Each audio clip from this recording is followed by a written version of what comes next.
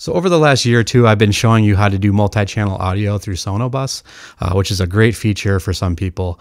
But some of the drawbacks have been certain programs don't support multiple inputs or outputs, mm. and I've kind of had to do some hacks to make it work. Recently, Pro Tools just released a new version of their software, giving you some of those uh, advanced tools that were in the Ultimate version. So it actually unlocked the ability to do some more with Sonobus.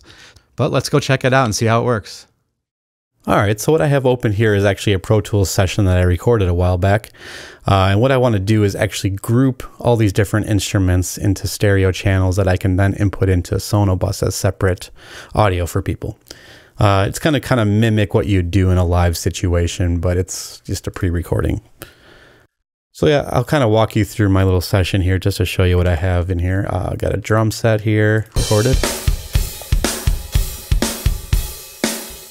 So I have all the separate mics, but I have it grouped into a stereo bus over here, drum master bus. And then I have a bass channel here. Again, a DI and an amp kind of mixed into one bass master channel.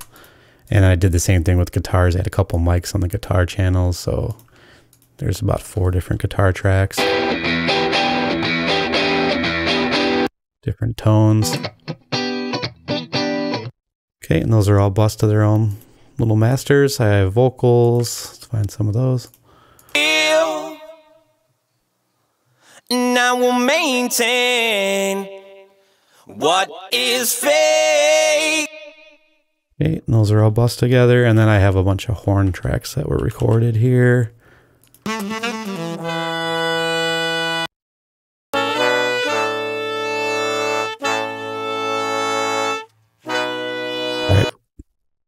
Yeah, so those are all live instruments that recorded. So what we're going to do first is actually go into Pro Tools I.O. settings. And what we have to do is actually create a surround sound bus that we'll be using for uh, Sonobus. I already created one down here, but I'm going to go through the steps of how to do it. So we're going to create a new path. Uh, we're going to choose a 7.1.2, which will give me 10 channels of audio. If you don't need 10 channels going into Sonobus, you can use one of these other ones, like the 5.0, uh, 5.1, uh, quad, and all these. Just depends on how many inputs you're going to need. So it's the same setup, uh, regardless of which one you choose. Um, but I chose a 7.1 to give me the, the most channels here. Give it a name, create. So that's going to create the main bus, which spreads across all the different channels, the 10 channels. And then you're going to create subpaths. Uh, I'm going to create stereo subpaths. You can do mono if you need to. Um, so that's going to be for our input one and two. We're going to create one for three and four.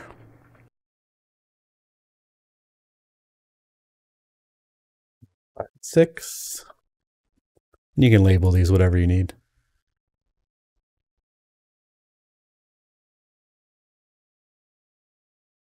Eight.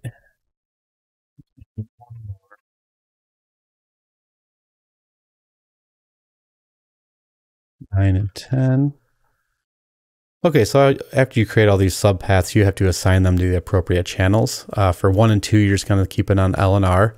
For three and four, you're going to move it to a center channel and the LFE channel, which is the subwoofer. Five and six is going to be left sides, I believe, and right sides. Seven, eight going to be LSR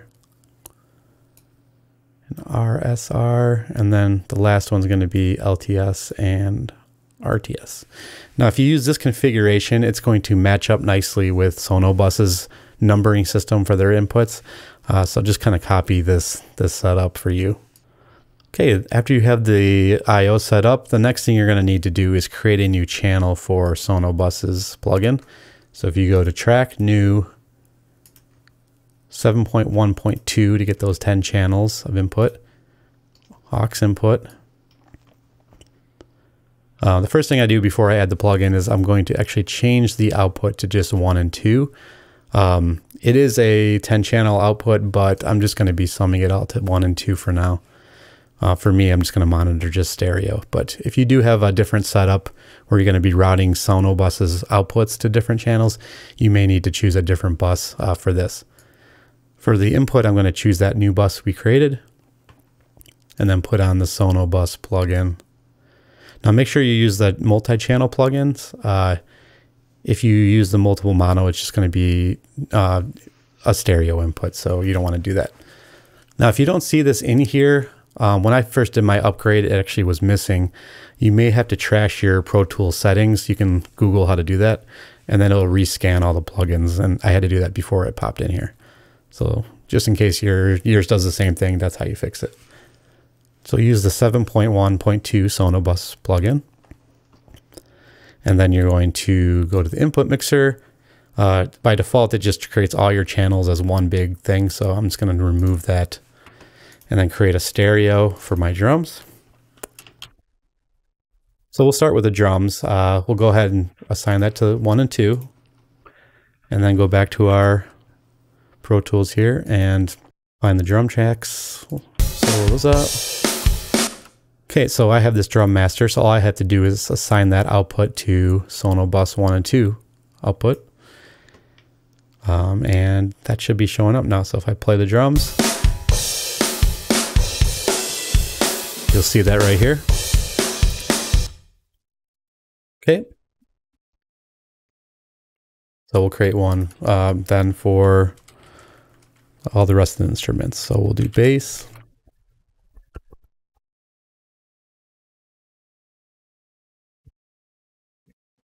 Guitar for the vocal and for the horns. Guitar. Vocal. Horns. Okay, let's go connect all those now. So find the bass. Same thing, output bus, Sonobus, three and four. Guitar, we're gonna do five and six for all these. Okay, and then for the vocals, seven and eight, and then the horns, nine and 10. Okay, so if I play everything now in Sonobus, the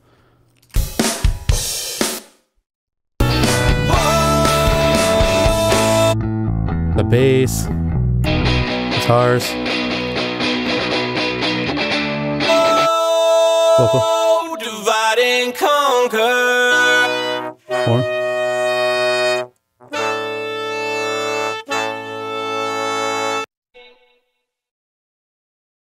Okay, so I got everything uh, working there. So you do have to keep this on send multi-channel if you want everyone to have control over the volumes of these channels. Yeah, so that's how you connect 10 channels of audio to Sonobus right in Pro Tools. Uh, I have other videos on how to do this in other programs like Reaper and Logic. Uh, so if you like my video, just click like, subscribe, and I'll see you next time.